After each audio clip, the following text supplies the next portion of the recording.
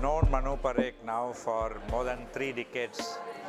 Uh, I used to work in the Indian Council of Cultural Relations in New Delhi, where he used to be a frequent visitor, and I am familiar with his works.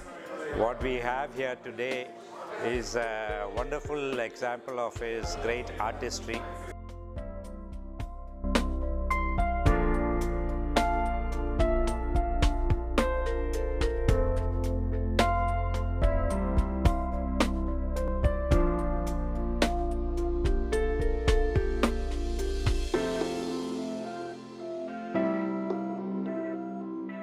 I can replace almost the kind of originality of a Calcutta. And then I found Banaras is a right place.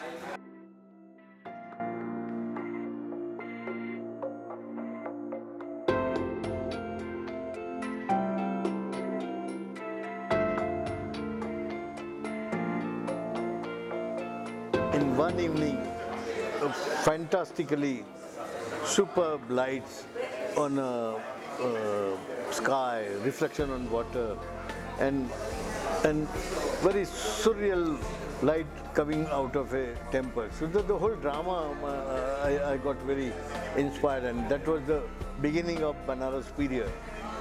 Fr- from that day onward, I till today I visited Banaras hundred times, and each time I found something different.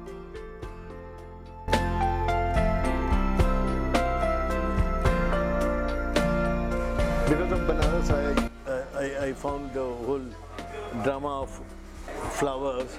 Human faith became a, my central theme. I think I'm, I'm quite inspired because of all these things.